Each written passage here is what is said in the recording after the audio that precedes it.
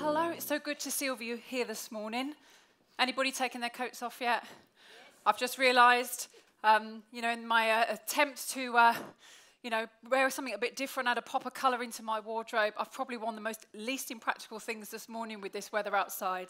Um, but welcome. My name's Louise. If you haven't met me before, I'll be delivering the message today. And welcome to those of you who are joining us on live stream. So good to see you. Thank you, Effie. Effie, yes, she's pointing out I'm wearing bright red shoes. I was attempting actually to add some colour into my winter wardrobe. But I suddenly, I probably need to apologise because I've suddenly realised when I did kind of the sound check that actually they're a bit bright.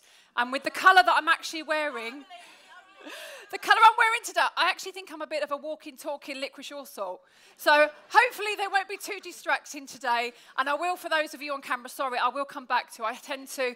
Um, listen, I'm from the south. I'm an Essex girl. I talk fast. Keep up. All right. this morning. Okay, but as you know with me, there is always a connection because it isn't a coincidence I'm wearing some bright red shoes. In fact, actually, when I say they're shoes, they're not quite shoes. They're not quite a boot, are they? For those of you, they're not quite a shoe. Is it a shoe boot? Yeah, it's a shoe boot. Okay. Now, I think they're pretty fabulous. But, but actually, they don't have any special powers. They're not magical. But can anybody remember, I want to get you thinking, anybody remember some pretty special shoes that had magical powers? Maybe you've read the story as a child. Maybe you've watched the movie. Anybody remember? Anybody shout out? Wizard of Oz. Yes. There we go.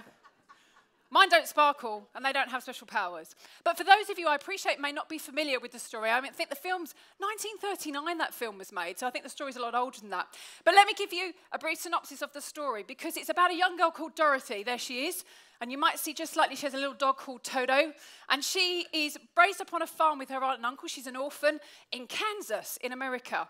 And you may be familiar in Kansas, they have a number of kind of tornadoes that rip through the land. And right from the beginning of this story, there is a tornado that comes in to the land. And so powerful is this tornado, it literally lifts the house off its foundations and whisks her off, doesn't it?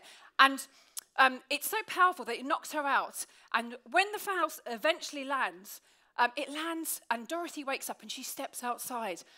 And she's into another world. She's into the land of Oz and Munchkin land. But unbeknown to Dorothy at the time, her house lands on a wicked witch of the east and it kills her instantly.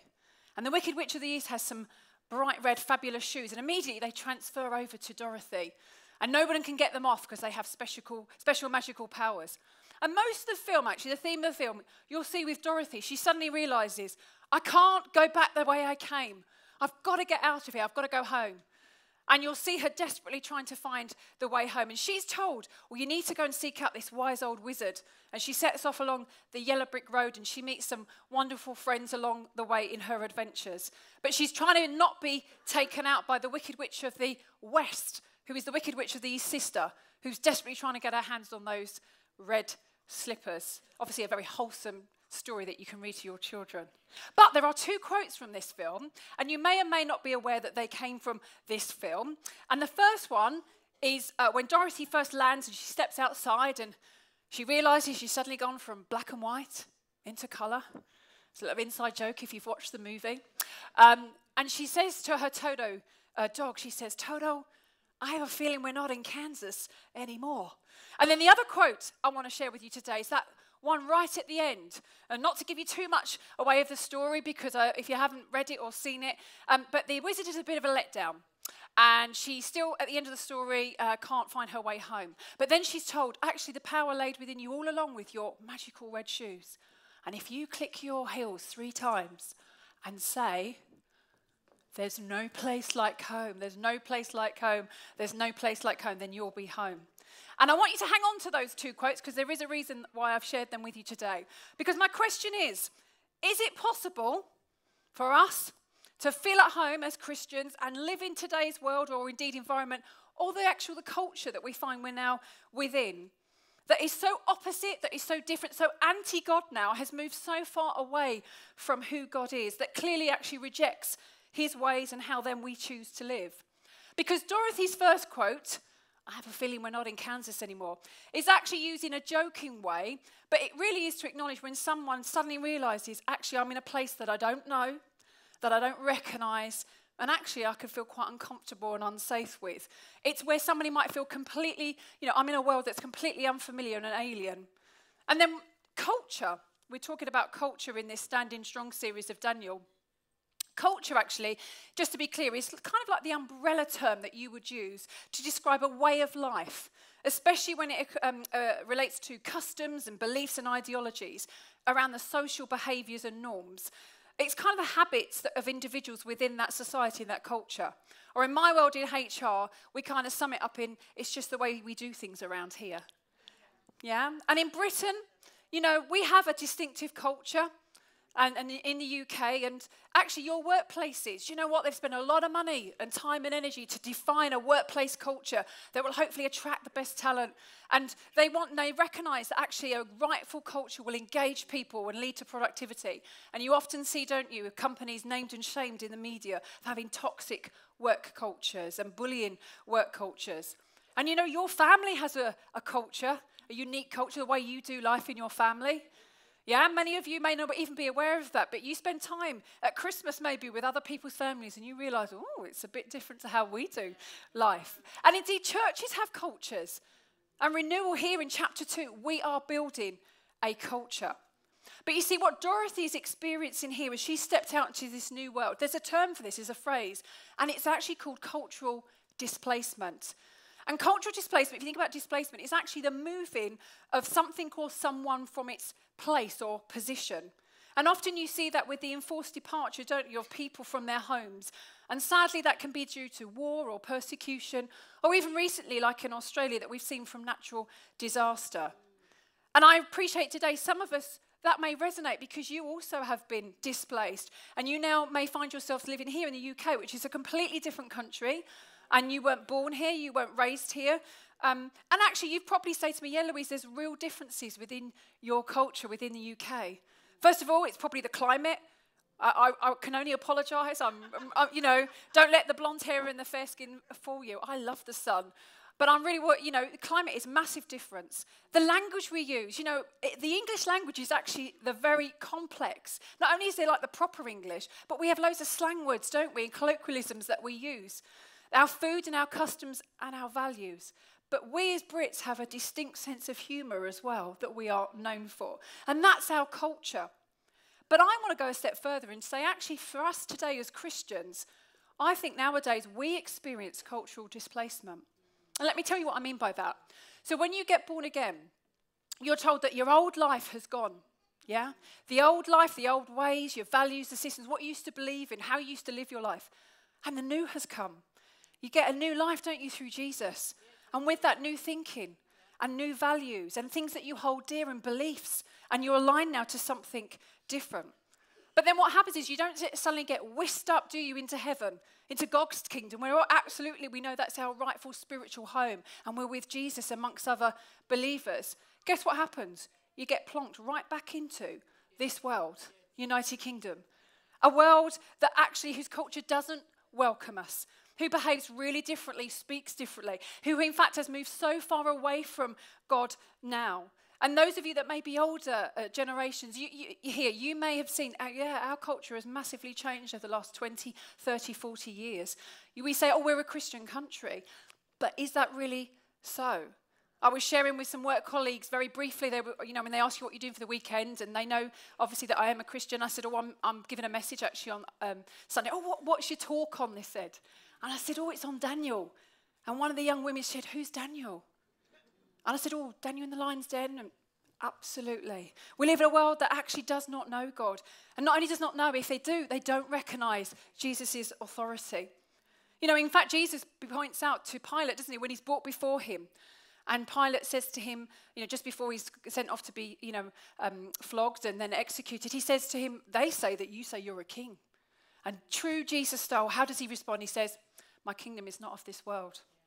And therefore, as us as Christians, yeah, when we become Christians, we recognize that we have a new king who we serve. We're aligned to a new kingdom, a new culture, and new values. And so, actually, for us, then, earth is merely a temporary residence. Yeah? So, no wonder we're going to feel displaced now.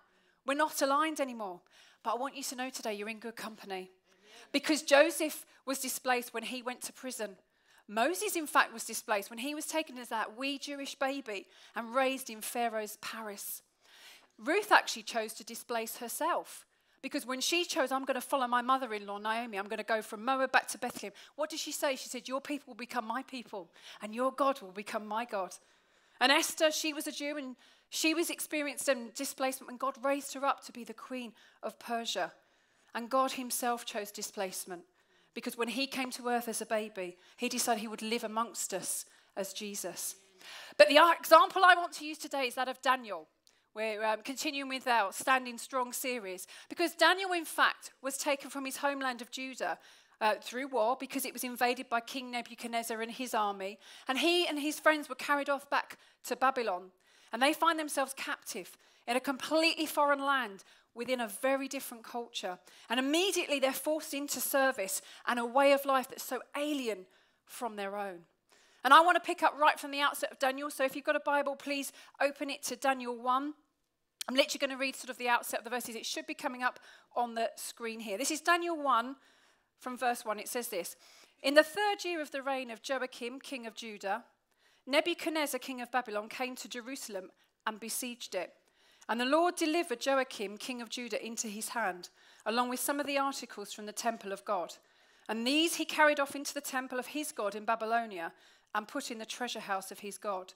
And then the king ordered Ashpenaz, chief of his court officials, to bring in some of the Israelites from the royal family and the nobility.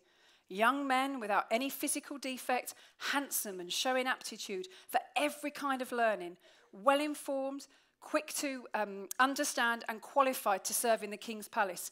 And he was to teach them the language and the literature of the Babylonians.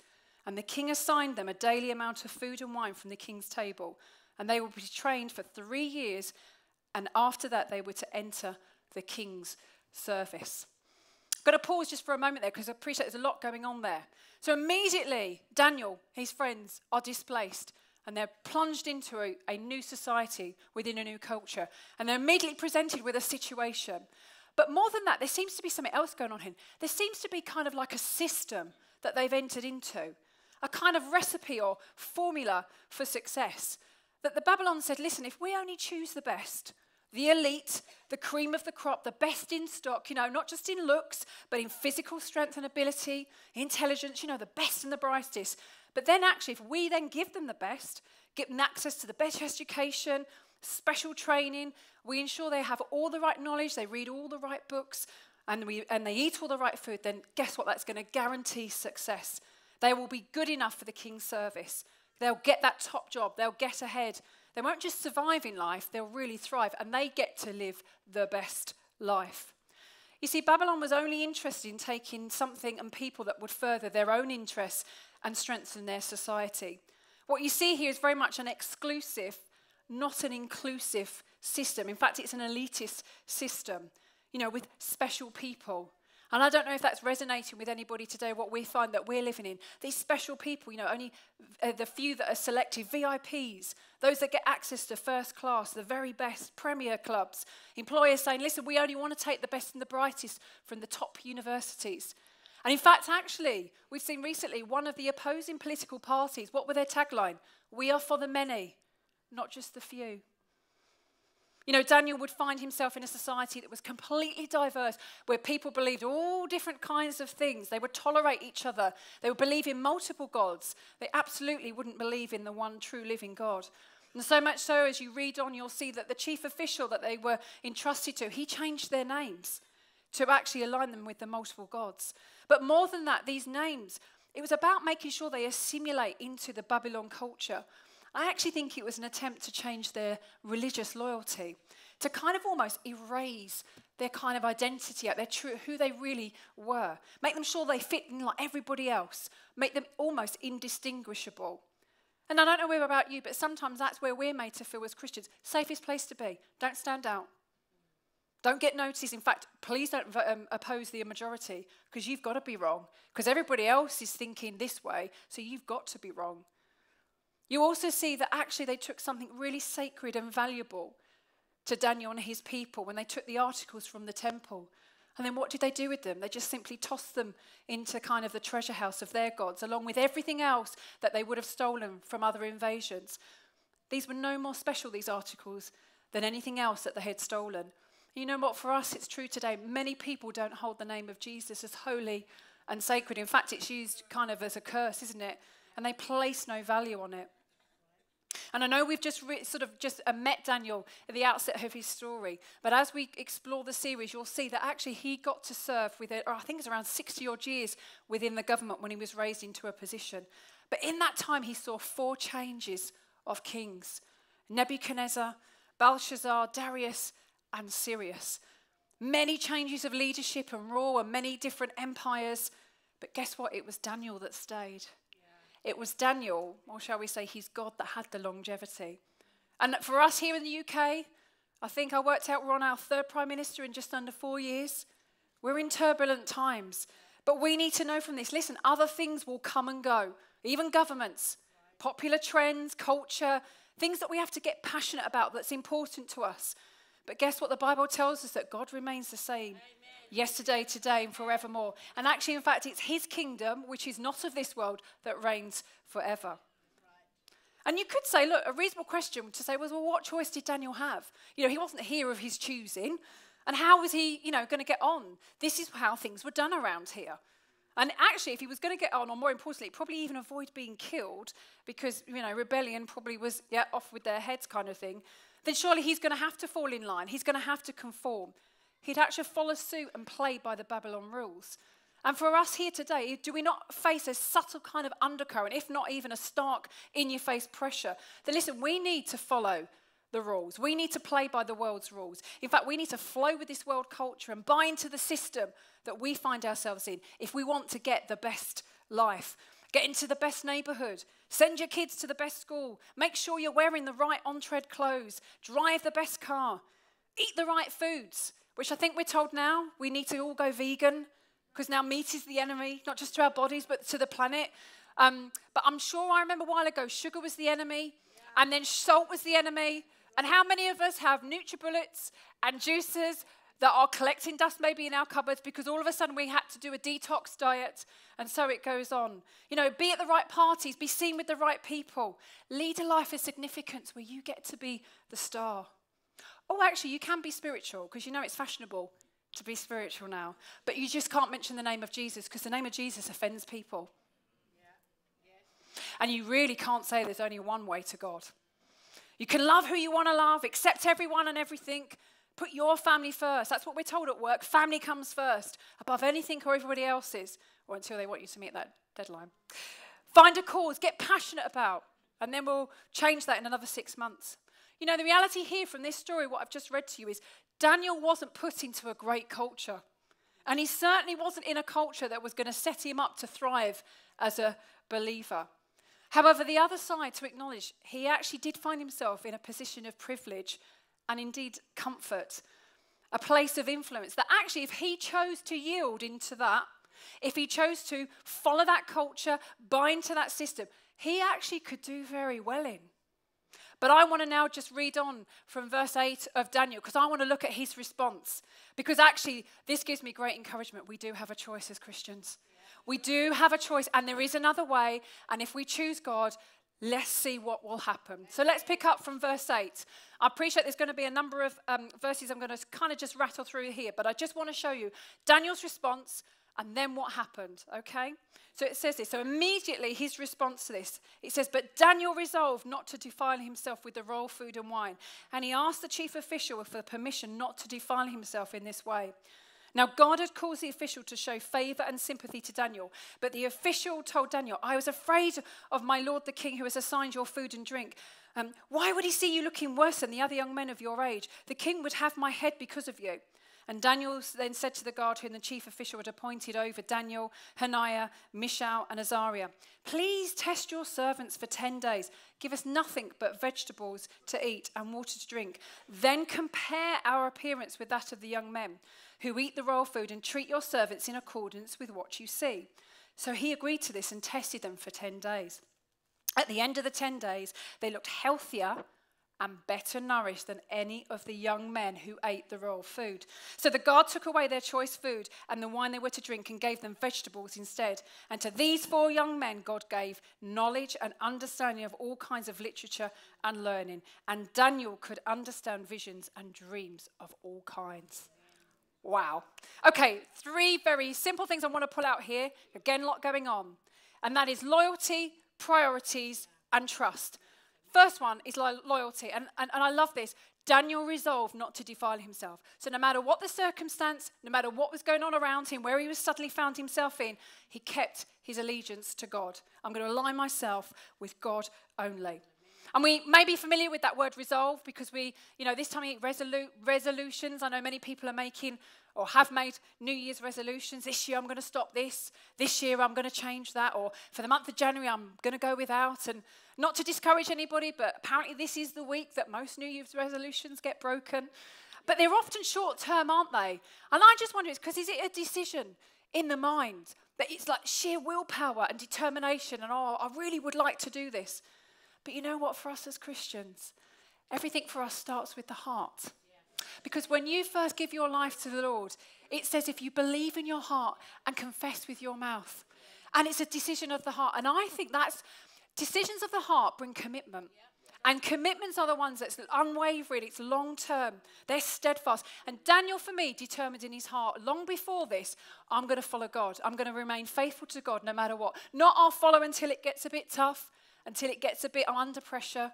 You know, Jesus talks to us about the narrow and wide gates, doesn't he, in Matthew's Gospel? And he gives us this picture look, the wide gate, many will find it. It's easy to find, it's easy to do, and the majority will go that way. But sadly, that leads to destruction. But only a few will find this narrow gate, and that leads to life. And I appreciate as Christians, particularly nowadays in our culture, our choices will look foolish. They won't make sense to everybody else. You'll be the odd one out. You know, at 22, I made a decision to follow Jesus. Nobody in my family followed God. I was the only one. I was from a completely unchurched background. Mm, what do you want to do that for? Oh, you're not joining a cult, are you? You know, people won't get why you want to follow Jesus. But don't, whatever you do, compromise your loyalty to God. Because you know what? When you don't have God, you have to play by the world's rules. You have to follow the trends and the guidance and what the experts are telling you should be doing. You've got to do what everybody else is doing because, listen, everybody's searching for answers. And it must seem sensible and logical if, well, the majority going this way. Well, that's got to be the truth. That's got to be right. You know, but Daniel decided, I'm not going to defile myself. I won't pollute myself. I'm not going to take that royal food and wine because actually I know they're going to be sacrificing it to multiple gods and, and idols. I'm not actually going to align myself with a king who actually I have no alignment into what he stands for and who he is. And our challenge too today, in today's world, actually we need to reject what the world systems and their good ideas have said, what the experts tell us. Do you know what? Even if, this is a challenge, even if it might appear beneficial to us, that we might get on, that actually we might do well out of it. Because we need to seek God's wisdom, yeah. not the world's knowledge and their insights. The second one is priorities. What's important to you? What comes first in your life? Or actually, if I can ask it another way, what do you worry about? Because for me, when I look at this, for Daniel, it was God. He chose God's ways above and beyond what was being presented to him. In fact, actually, I think he was more concerned over what would displease God, what would actually concern him, and he didn't want to spoil that. And Daniel's rejection of food and the wine is even more so than just about food and wine. You know, See, for many, it would have been seen as the inferior choice. Well, why would you reject what the king is trying to offer you? But it was more than just about food. This was about showing, I'm showing you an alternative lifestyle. There is another way of doing things, there's a God way of doing things. Do you know what? Which actually yields results. Because we read uh, later on, don't we, that they didn't just find that Daniel was friends, they certainly weren't inferior. They weren't even equal, they were superior. In fact, they said they were found 10 times better in their wisdom than all the other men. So, what are you prioritizing in your heart? Where do you spend most of your time? What do you spend your money on? I know we're only three weeks into a new year, but how many things of God have you said yes to so far this year? Versus actually how many other things are already filling up your diaries, your calendars that you're pledging money to, that you're actually spending your time with. Have you even got the balance right? You know, I'm delighted that we've got our first woman to woman labs next Saturday morning. And as we were planning, somebody made a comment and said to me, Well, we need to get the comms out soon because people are starting to make plans. And if I can be really honest with you, I'm not here to compete with your diaries. I'm not going to try and see if I can get in first because then if you're free, you might come. Uh, delighted to say that's not been the case. I think three of the sessions literally went within 24 hours. We've had to put extra ones on. They are now fully booked. I think we've literally got a handful of places with a couple of the sessions left. But we're trying to give people enough notice and time to get on. We've got a women's weekend away in September. Go and read about it in Church Life. You will have got the email. You know, three quarters of the places have gone. And I haven't even told you who I've booked to come and speak yet. By the way, your deposit is non refundable, right? Okay. But you see, the reality is the enemy wants to keep you from what's most important. And that's actually finding God in the first place. So if you are sitting here and you've just been to Alpha, well done. Because there's so many other things that you could be choosing. And I've done that. And it's not a better life. But actually, at 22, I'm glad I chose Jesus. Even if it meant that my family didn't quite understand and friends, etc., didn't really, really get what I was doing. But I'm so glad that I did. But also, as us as Christians, the enemy wants to prevent you having a relationship with God and really growing in God. Because you know what? The tactic of the enemy it's not only about leading people away or not finding God in the first place. There's a subtle tactic of the enemy that if, as Christians, he can keep us busy and distracted and actually subject to all the other world's influences and even get on board with these good causes. Now, I'm not saying that the, the planet and the environment, that's, you know, it's absolutely right. In fact, it's a God thing because God told Adam and Eve, didn't he? You have to have dominion and rule over the earth and actually take care of the garden. But there is, don't get swept away with earthly, worldly causes, because there's one thing about saving the planet. I think as Christians, we should be more impassioned about saving souls. Because you know what? The enemy will keep you right where he wants you. If he distracts you, if he keeps you busy, if you're letting other things take the place of Jesus, because you're no threat to him, you're ineffective for his kingdom. But more importantly, you don't get to live the best life. And as Christians, can I implore you, please stop looking just to be entertained, to go away feeling warm and fuzzy and, oh, was that a great experience? Did I like what Louise was wearing? Did I actually like what she was saying? You know, the world can do that. In fact, the world spends billions of pounds trying to entertain us. And they probably do a better job of it at times. But as mature Christians now, can we go away feeling going, am I being fed? Am I being challenged? Am I being built up? In essence, am I getting discipled? And then looking to see if we can help other people do that. Because you know what? That's what's going to equip you and sustain you and get you to feel really at home living in this culture and this world that we do. What is important to God and what takes place first to God is you. And that should be important your salvation and your relationship. And then the final one is trust. And I kind of, it shouldn't really be at the end because for me, it should underpin everything of who we are as Christians. Because Daniel allowed his life to be led by God because he trusted him first. He trusted him with the outcome. Uh, do you know what? When he actually said, I- am going to refuse the food and wine, I'm not going to take that. Do you know what? He didn't know what the outcome would be, did he? He actually didn't know at that time. But I believe he said, like, you are my God, I will honor you and I will trust you and I, uh, I believe that you will take care of me. But also, I think he realized that, you know, he knew God was sovereign. And when God is sovereign, what that means is ultimately He is control above everything and everyone. He goes far beyond the turmoil and the chaos and the disruption that you see, even the unfavorable circumstances that you might find yourself in. In, in fact, even He goes beyond the time now that we are living in. Because you know what? The uncomfortable truth from this story, and you'll read it in verse 2, is God actually allowed this to happen to Daniel and his friends because it said he delivered the king of Judah into Nebuchadnezzar's hand. You know, that's just mind blowing. What, what, what, does he not care? Does he not love Daniel? Is he trying to test him? No, because the Bible tells me that God is a good God and he wants good things for our lives. So we have to, as mature Christians, go, ah, there must be more to this than meets the eye. There's got to be a greater purpose, a bigger plan. And I'm sorry, I haven't got enough time to go into that, but if you stick with this series over the next coming weeks, you will see as the story unfolds, there was definitely purpose in what God was doing here. But right from the outset, Daniel decided, I'm not going to hide my faith. I'm going to entrust my life to God. And you know what? Even now, God was glorified. Look at the results. And they were protected and honored and elevated, you'll see later on in the story, into positions. And I believe that God needs Daniels of this generation to do exactly the same thing. You need to choose God. You need to choose the one true living God first, and then you need to know God. Read your Bible. Get to know who God is, because then you'll understand how He works. And then you'll get to know who is this God that I am serving. Stand strong. If you know God and you know what He's like, then you can stand strong against anything else that comes your way and you know to take action. The Bible says, isn't it? Commit your ways to the Lord. Trust in Him and He will do this. And so as I close, I go back to that original question Is it possible then? to feel at home and live as a Christian in today's world, within the culture, society that we live in, that really rejects us? Is it, you know, can we actually be at home? Well, I believe the answer to that question actually is down to us and how we choose to respond. You know, are we going to be a Dorothy or are we going to be a Daniel?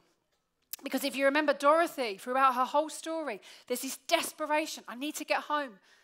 I can't be here. I don't feel safe. It's almost like I'm a Christian, isn't it? Get me out of here. And she's got to escape. Whereas Daniel, what does Daniel do? Daniel chooses to engage. He had to live within that society and culture. He had no choice. And I believe actually that's us. You know, we shouldn't be oh, enraged, oh, it's getting so bad. It's not going to change. In fact, it may even get worse, will get worse. But Daniel chose to engage. And there is such a need for God's people to live and be amongst those that don't know God. And actually, we've got something really special now because Jesus has left us with his Holy Spirit.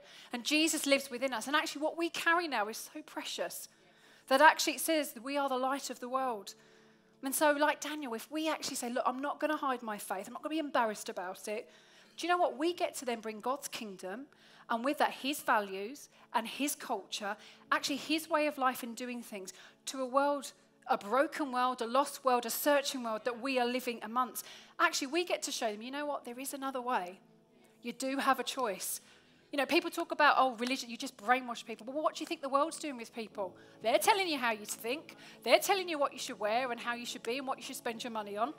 But in the process, I believe for us that we actually get to live this best life. We can truly feel at home like Daniel did, no matter what's going on around, how bad the culture in the world that we're living in. And we get to actually to thrive. I love that song we sung earlier. It says, you know, I was breathing, but I was not alive. I just want to be alive in Christ. And don't, don't you too? Yeah. Shall we pray? Just join me on, on, on live stream.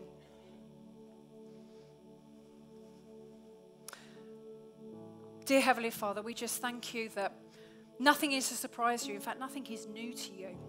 And when we might feel that we're living now in a world and a culture and society that is so far removed from you, Lord, isn't it great that we can turn to your word and there are characters in the Bible, stories, and actually scenarios where that shows us that, oh gosh, you've faced that before.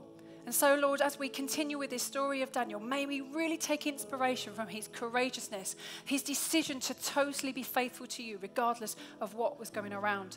And I, and I just pray, Lord, that we would learn to trust you in a world that trusts so many other different things, that, Lord, may we have that unresolved, unwavering trust in you. And so, Father God, I just ask for everyone that's now going out on a Monday morning, wherever they're going into their schools or colleges or workplace, may they know that you are with them. Greater is He that's in you than He that's in the world. In Jesus' name, Amen.